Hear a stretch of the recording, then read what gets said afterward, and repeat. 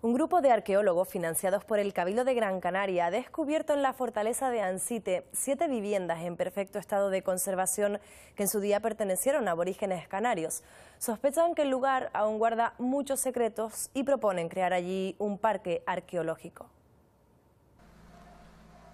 El Valle de las Tirajanas es el lugar donde los aborígenes perdieron Gran Canaria a favor de los conquistadores castellanos. Aquí se encuentra la fortaleza de Ansite, el yacimiento arqueológico más importante de la isla.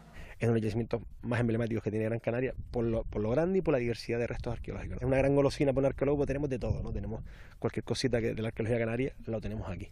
Los arqueólogos de la empresa Tibicena han descubierto a los pies de la fortaleza siete casas, algunas de ellas de dos plantas. El buen estado de conservación de las viviendas y la riqueza aborigen que guarda Ansite hacen de este un lugar propicio para crear un gran parque arqueológico. Nosotros lo que proponemos es continuar con las excavaciones y transformar este, este sitio, junto con el centro de interpretación, en un, parque arqueológico para el sur-sureste de la isla. Los arqueólogos creen que estas siete viviendas no son las únicas y sospechan que debajo de estas piedras podría esconderse uno de los poblados aborígenes más grandes de Gran Canaria.